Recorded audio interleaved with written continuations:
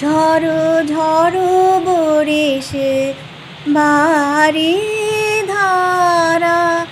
ঝড়ো ঝড়ো বরিশে হ্যাঁ বন্ধুরা, বৃহস্পতিবারের সকাল। গুড মর্নিং দেখো কি বৃষ্টি পড়ছে, আকাশ ভেঙে বৃষ্টি পড়ছে, আর এই সবুজ গাছের উপর বৃষ্টি পড়লে না দারুণ লাগে দেখতে। আমার তো ভীষণ ভালো লাগে, তাই তোমাদের সঙ্গে একটুখানি শেয়ার করে নিচ্ছি। এটা আমার বাড়ির পেছন দিকে কিছু গাছপালা, আমাদের বাড়ির গাছপালা না, অন্য বাড়ির। দেখো, এটা হচ্ছে আমার বাড়ির সামনের রাস্তাটা। এখানে আমাদের একটা জায়গাটার একটা বিশেষ গুণ হচ্ছে, এখানে যত বৃষ্টি হোক, জল দাঁড়ায় না। এখানকার ড্রেনেজ ব্যবস্থা ভীষণ ভালো, খুব গভীর ড্রেন এক ফোঁটা জল দাঁড়ায় না আমাদের এখানে। ভীষণ ভালো, এলাকাটা খুব উঁচু আর কি। এই এলাকা বলব না, এই রাস্তাটা খুব উঁচু। যাই হোক তোমাদের সঙ্গে বৃষ্টিটা একটু শেয়ার করলাম সকালবেলায়। তোমাদের কার কার ভালো লাগে এরকমভাবে জানলায় দাঁড়িয়ে বৃষ্টি দেখতে একটু বলো।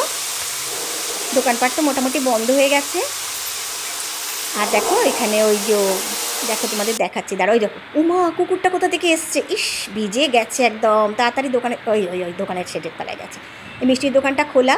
একজন আবার টোটো করে এসে মিষ্টি কিনছে। সত্যি, আমরা বাঙালিরা পারিও তো চলো, এই দেখো, একে তো তোমাদের মনে আছে? আমার সেই গত বছর লকডাউনে দুটো পুচকি পুচকি দেখিয়েছিলাম, ওই এত না এত বড় হয়ে গেছে। একজনকে এক- ছোটোটাকে আর একজন নিয়েছে, আর এই আমাদের কাছে থাকে। এর সমস্ত ভ্যাকসিন ট্যাকসিন হয়ে গেছে। হতে পারে স্ট্রিট ডগ কিন্তু একে সমস্ত রকম যত্ন করছে। দেখো, দামি কুকুরদের তো সবাই যত্ন করে। এদের কে দেখে বলো? এদের একদম রাস্তায় বেরোতে দিন না আমরা। মানে আমরা মানে আমি আর আমার দেওর যা এরা আর কি সবাই মিলেই দেখাশুনো করি ওর। দেখো, আমার জুতোটাকে জড়িয়ে ধরে ও ঘুমোচ্ছে। কি ঘুম ঘুমোচ্ছে অঘরে। জুতোটাকে কিছুতে ছাড়বে না। তা চলো অনেক গল্প টল্প হলো, এবার তো রান্নাঘরে যাব ব্রেকফাস্ট বানাবো। আজকে ব্রেকফাস্টে বানাচ্ছি কিন্তু, কি বলো তো এটা কি বলো তো হ্যাঁ ছাতু, ছাতুর পুর দিয়ে কচুরি বানাচ্ছি, ছাতুর কচুরি আর কি।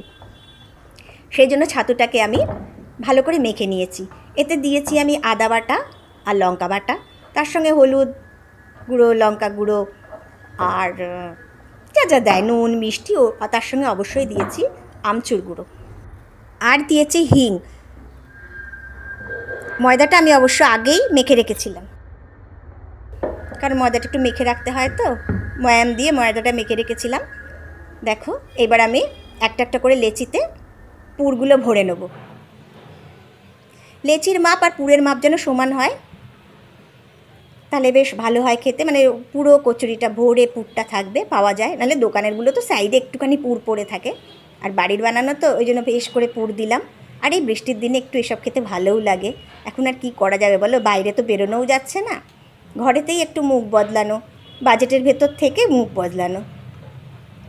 পুরগুলো দিয়ে সমস্ত লেচিগুলো আমি যে কটা আমাদের লাগবে আর কি, সেই কটা আমি পুর ভরে করে নিচ্ছি। দেখো সমস্তগুলোর আমার পোড়া হয়ে গেছে পুর। এইবার আমি বেলে নেব। আমি একটা একটা করে আগে বেলে নেব। এক, বেলতে বেলতে ভাজি না আমি। বেলে রেখে দেবো। মানে সব কটা বেলে নেব, নিয়ে তারপর আমি ভাজবো। তা চলো দেখো আমি সমস্তগুলোকে কিরম বেলে নিচ্ছি। একটু ফাটনা এটার একটা সুবিধে ওই ছাতুর কচুরি যে এই ফেটে বেরিয়ে আসা, তারপর চাকি বেলুনে কোনো রকম লেগে যাওয়া, এইসবের কোনো ঝামেলা নেই। বেশ পরিষ্কার পরিচ্ছন্নভাবে এটা তৈরি করা যায়। খুব তাড়াতাড়ি হয়ে যায়। সবচেয়ে বড় কথা খুব তাড়াতাড়ি হয়ে যায়। সবকটাই আমার মোটামুটি বেলা হয়ে গেল। এবার আমি সোজা চলে যাব ভাজতে। আর এর সঙ্গে তরকারিতে রেখেছি আমি মটর আর আলু মটরের একটা তরকারি। কড়াই তেল তো অলরেডি দিয়ে দিয়েছি, তেল গরমও হয়ে গেছে। এবার আমি একটা একটা করে সব ভেজে নেব। দেখো কি সুন্দর ফুলছে। দেখো যে কোনো জিনিস যখন তুমি বানাবে, সেটা যদি মনের মতন হয় ধরো ফুললো না, তাহলে মনটা খারাপ হয়ে যাবে। এই যে এত সুন্দর ফুলেছে, সত্যি আমার ভালো লাগছে। এত ভালো লাগছে রাজি যে আমাদের সঙ্গে, আর সেটা তোমাদের সঙ্গে শেয়ার করতে পেরে তো আরও বেশিই ভালো লাগছে। কারণ সব দিন আবার ক্যামেরা তো অন করি না।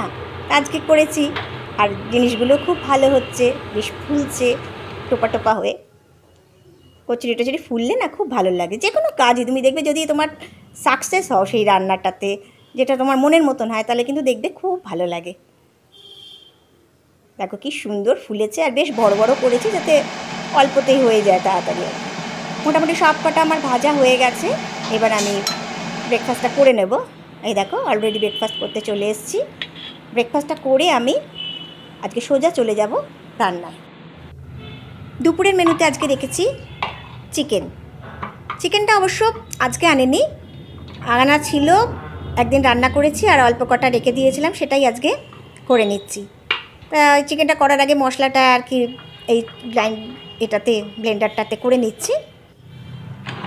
মশলাটা করে নিয়ে তারপর চিকেনটা ম্যারিনেট করব। সমস্ত পেঁয়াজটা আর রসুনটা আমার কুচনো হয়ে গেছে। এবার আমি সোজা চলে যাব চিকেনটা ম্যারিনেট করতে। এই দেখো অল্প কটা কয়েক পিস রেখে দিয়েছিলাম, এটা দিয়ে আজকে আমাদের লাঞ্চটা হয়ে যাবে। এতে আমি অল্প করে একটু চিক পেঁয়াজ দিয়ে দিচ্ছি। পেঁয়াজ পুরোটা দেবো না অর্ধেকটা দিচ্ছি আর অর্ধেকটা রেখে দিচ্ছি। টক দই দিয়ে দিলাম। এগুলো বলার কিছু নেই, তো নর্মাল সবই একই রান্না। হলুদ দিলাম। হলুদ আমি এখন রান্না একটু বেশিই দিচ্ছি মানে যা নর্মাল দিতাম তার থেকে বেশি। জিরের গুঁড়ো দিয়ে দিলাম, ধনের গুঁড়ো দিয়ে দিলাম। এবার দিচ্ছি আদা।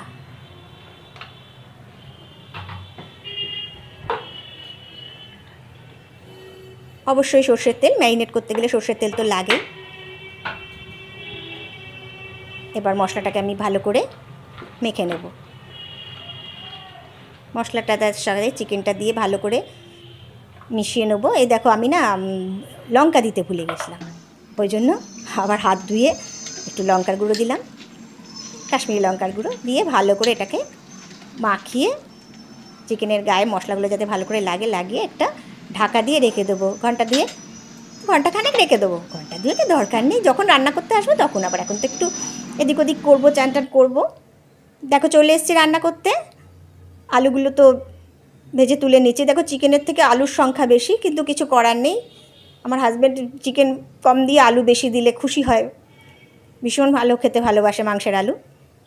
ফোড়ন দিয়ে দিলাম গরম মশলা আর তেজপাতা, ছোটো এলাচ, দারচিনি, লবঙ্গ।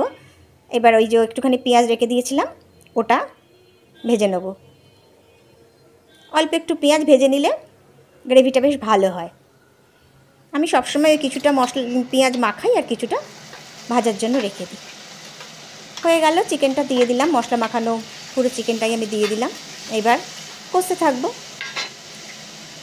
ভালো করে কষা হয়ে গেলে নর্মাল যেমনভাবে করে তো, আর বিশেষ স্পেশাল কিছু নয়। দেখো, কষা হয়ে গেছে। তেল ছেড়ে দিয়েছে। এই একটা জিনিস আমি তো ভীষণভাবে মেনটেন করি, সেটা হচ্ছে ভীষণ সুন্দর কুশভাবে কষা, যাতে তেল ছাড়ে, রং আসে। এটা আমি সবসময় দেখি। আলুগুলো এই সময় দিয়ে দিই আমি। সবসময় চিকেনে আমি কষার সময় আলুটা দিয়ে দিই, তাহলে আলুগুলোয় খুব সুন্দর টেস্ট আসে। জল দিয়ে দিলাম অবশ্যই গরম জল। আমি যে কোনো রান্নায় বেশ চেষ্টা করি গরম জল, আর চিকেনে তো দিতেই হয় গরম জল। যে কোনো রান্নায় চেষ্টা করি গরম জলটা ইউজ করার। ব্যাস, এবার ঢাকা দিয়ে দিলে হয়ে যাবে আমার চিকেন দুপুরের মেনুতে। তা আজকের মতন শেষ করছি। বাই আবার দেখা হচ্ছে নেক্সট ব্লগে সবাই কিন্তু ভালো থেকো।